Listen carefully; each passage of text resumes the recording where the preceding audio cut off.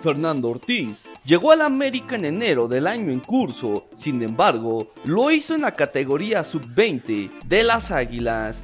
Después de la salida de Santiago Solari, Fernando Ortiz llegó al banquillo azul crema de manera sorpresiva, pero fueron más sorprendentes los resultados que ha obtenido. Pero, aunque no se debe a un acto de magia, Fernando Ortiz sí ha sido parte fundamental del renacer azul crema en el actual torneo del Clausura 2022.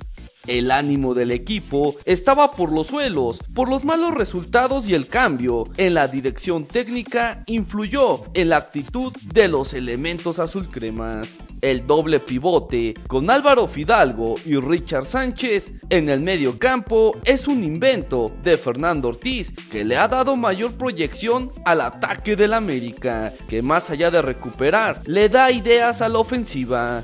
El despertar de los refuerzos Diego Valdés y Alejandro Sendejas no pasaban por su mejor momento, pero la llegada del Tan Ortiz los ha puesto en la versión de sus pasados equipos y ahora son los mejores goleadores del América. Valdés con 5 anotaciones y Sendejas con 4 solidez defensiva. Con Santiago Solari, las Águilas habían recibido en 8 partidos 14 goles. Ahora, en 8 encuentros, solo han aceptado 3 anotaciones continuidad a un esquema. Santiago Solari rotó en todas las líneas sin encontrar fórmula adecuada. Fernando Ortiz modificó a los jugadores que no pasaban por su mejor momento y ha repetido en la mayoría de los encuentros las alineaciones que le dieron resultados positivos. Al América le falta un partido y será ante Cruz Azul. Si le ganan a los celestes y pierde Atlas o Puebla, pueden meterse directo a la liguilla. Increíble,